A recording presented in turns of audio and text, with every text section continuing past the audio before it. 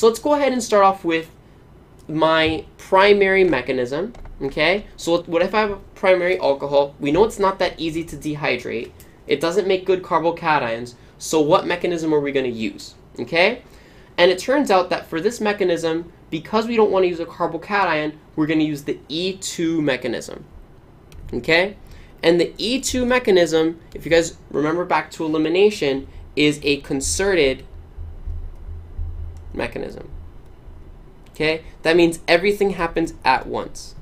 Okay? So where are we going to start with this? Well, if you guys remember, anytime that we have an acid catalyzed reaction, anytime it says acid catalyzed, okay? This might be the first time that you've heard me say this because maybe you haven't watched the other videos or it's cool.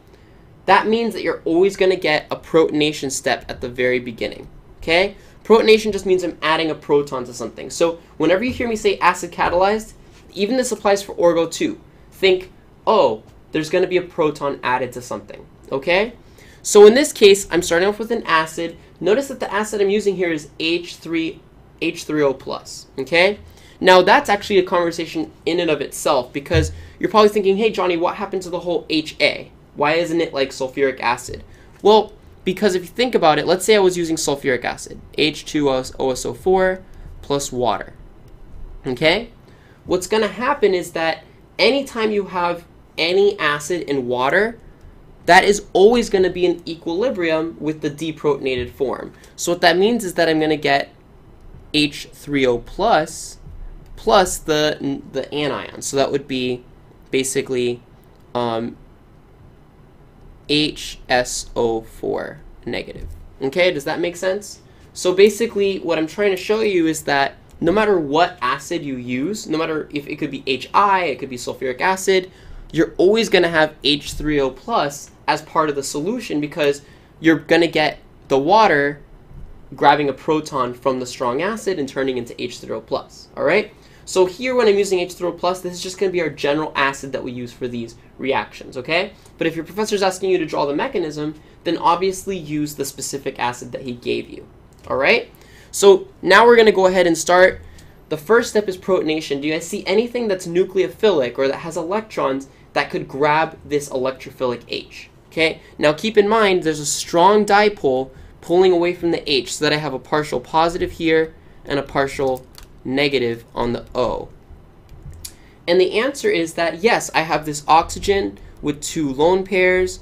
It's very nucleophilic. It can go ahead and grab this H, okay? But if it makes a bond to the H, we have to break a bond to the rest of the water. So what we're going to get at the end of this first step is we're just going to get a water molecule, like that. Okay, and then plus we would get plus another molecule of water actually. Okay, because we just removed a proton. Okay, so now here's the next step. In the next step, I've got this water molecule. Notice that I've got this down here. And now I'm just drawing one of the H's. That H was always there. I'm just going to draw it right now. Okay? And it turns out that in this next step, I'm going to do beta elimination. Now, beta elimination, remember, is just based off of your alpha is wherever your leaving group is. In this case, alcohol was a terrible leaving group, but now I just protonated it so it became a great leaving group.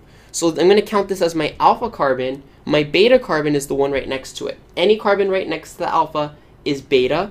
That has a hydrogen on it. Can I eliminate? Yes. So now I'm going to do a concerted three-step mechanism where I do my nucleophile to the H, make a double bond, kick out the leaving group. And what I'm going to get at the end is just a double bond plus, check it out, an acid that I originally had and now a molecule of water. Okay, the molecule of water came from the leaving group. The acid came from the nucleophile that attacked that H. Now what's important about the acid is that, notice that the name of this reaction was acid catalyzed hydration. That means, remember the definition of a catalyst is that it's something that can neither be consumed nor destroyed in the reaction. All it does is it lowers the activation energy of the actual reaction. So it's really important that at the end of this reaction, you're ending up with the same acid that you started with. So if I started with H3O+, plus, I have to make sure to get one molecule of H3O plus at the end. Why? Well, because if you just didn't have H3O plus present at the end, it wouldn't be a catalyst anymore. It would be something else. It would be a reagent. But since I'm regenerating it, now you know it's a catalyst. All right? So I hope that makes sense. That was the E2 mechanism that only applies, just so you guys know, that only applies to primary alcohols. So if it's a primary, you would use this. But what about if it's a secondary or a tertiary? Well, you're going to have to find out. That's what our next topic is all about. So let's go ahead and see what happens when you have a secondary or tertiary alcohol.